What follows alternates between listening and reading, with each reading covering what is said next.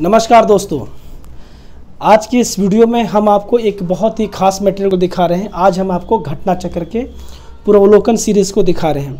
पहले मैं आपको इसके बारे में समझा देता हूँ। मैं जिस वीडियो में भी कंटेंट को दिखाता हूँ तो पहले उस विषय को ठीक से समझाने की कोशिश करता हूँ।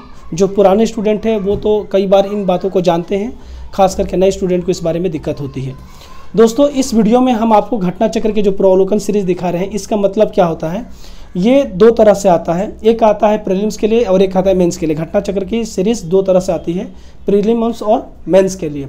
जो प्रीलिम्स के लिए होता है, आज की इस वीडियो में हम उसे दिखा रहे हैं। इसमें होता क्या है कि जो स्टेट पीसीएस में, जो प्रीवियस ईयर में जो क्वेश्चन आए हुए होते हैं, उनका संकलन होता है। यानी जैसे जोग्राफी आप देख रहे हैं तो जोग्राफी में प्रीवियस ईयर्स में, चाहे एमपी हो, राजस्थान हो यूपी हो, बिहार हो, झारखंड हो, इनमें जो पीसीएस में जो क्वेश्चन पूछे गए होते हैं उन सभी पीसीएस के क्वेश्चन का, जैसे जोग्राफी तो जोग्राफी का संकलन एक जगह पे पॉलिटी का एक जगह पे।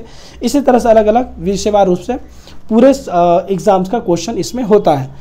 इसमें किस तरह से चीज़ें दी गई होती हैं? पहले नोट्स होता है, उस टॉपिक का एक एक एनालिसिस होता है कंटेंट होता है, ताकि आप उसे पढ़ सकें, समझ सकें, और उसके बाद, उसके अंदर में जाकर के क्वेश्चन और आंसर होता है। मैं इसे करीब से भी दिखाऊँगा, पहले मैं आपको इसे समझा देता हूँ।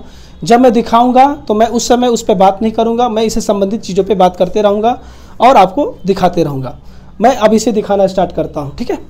जैसे आप पहला बुकलेट देख रहे हैं ये है पॉलिटी तो पॉलिटी में क्या होता है ये देख सकते हैं ये आपकी पहली बुकलेट होगी। इसमें क्या होता है जैसा कि मैंने आपको पहले बताया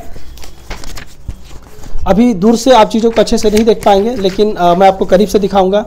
जैसे ये पहला पेज है इसमें आपको टॉपिक का एनालिसिस मिलेगा। ठीक है? इसके बाद अंदर में जाएँगे तो इसमें क्वेश्चन होगा। जैसे यहाँ पे आपको क्वेश्चन और आंसर मिलेगा ठीक है? आ, ये रहा। अब अंदर में आपको क्वेश्चन मिलेंगे और क्वेश्चन के बाद नीचे में इनका आंसर और एक्सप्लेनेशन मिलेगा। ये तो होगी पॉलिटी का। इसी तरह से जैसे दूसरी बुकलेट देख रहे हैं हम लोग इकोनॉमी ये है इकोनॉमी ठीक है? ये ऐसी है किताब आपकी।